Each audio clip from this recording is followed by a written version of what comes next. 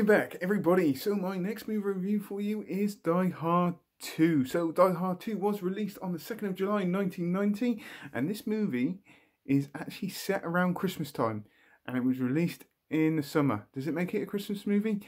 Yes, it does.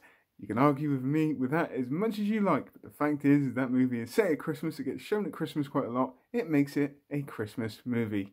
Conversation over. So, this movie was directed by Renny Harlin, or Harlan, I should say. It was made on a budget of $70 million and made uh, $240 million in the box office. The cast in this second installment again consists of Bruce Willis as John McClane. We've also got John Amos, William Sadler, William Atherton, the T 1000, Robert Patrick, plus many, many others. So, in this second installment in the Die Hard franchise, we get to see a team of terrorists threaten to basically destroy an airport and demand the release of, the, of a drug lord called Roman Esperanza. And once again, John McClane is in the wrong place at the wrong time and he has to go and try and stop these terrorists. Now, what do I honestly think about this second installment in the Die Hard franchise? Yes, I enjoy it, but it is nowhere near as good as the first one, but it is still a damn good sequel. Um, I have to be honest with you. The first three Die Hard movies are my favourite. The other ones, yeah, not so good. But this second installment, again, it's just, okay, fair enough. It's not set in a tower block, it's set in an airport. It's a slightly different setting. As you kind of expect anyway. You need something different because they already done like the tower block in the first one. But it still does work. It doesn't quite have the same feel as the first one. I have to be honest with you. Um, it's different in so many different ways but as a whole as a general as a good action movie from the 90s yeah it's got a thumbs up for me. This isn't so much a review it's just an appreciation on this one because it, essentially this is just a classic action movie for me which i can quite happily sit down there and watch. You get everything that you want again in a die hard movie. You get to see john mcclane you, you get to see the build up you get to see him fight some terrorists you get to see him pretty much beat the shit again and he has to and he does everything he possibly can to stop these terrorists. And the terrorists again overpower this cop but yet John McClane still manages to do it and it just makes it so damn good entertainment. I don't care. It's just an appreciation. It's not so much a review. I'm sure there's faults in this movie but I really really don't care in any way shape or form.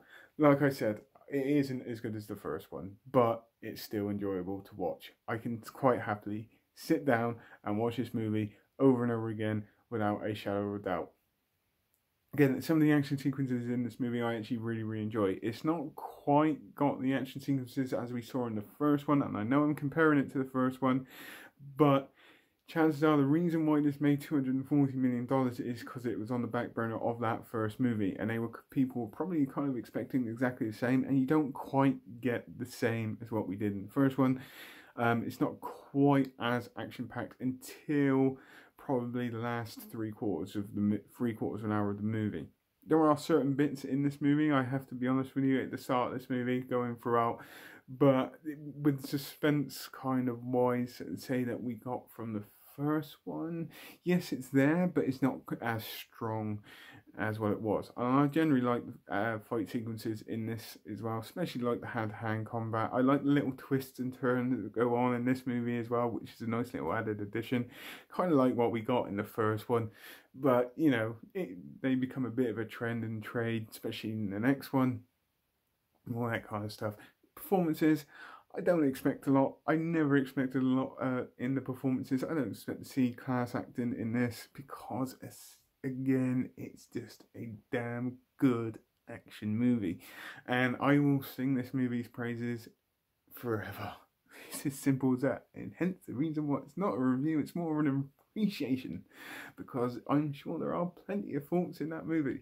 There really, really is. I can think of a few off the top of my head right now, but I don't care. It's as simple as that. So if I did, what else? I, I just love the whole movie. You know, it's a simple.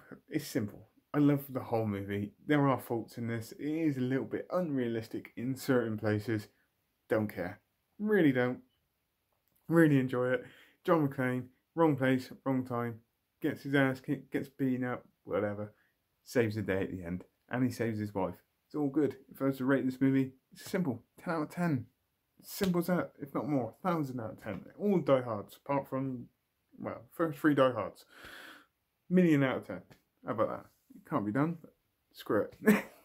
in the day, this is all it is to me. It's just a damn good action movie.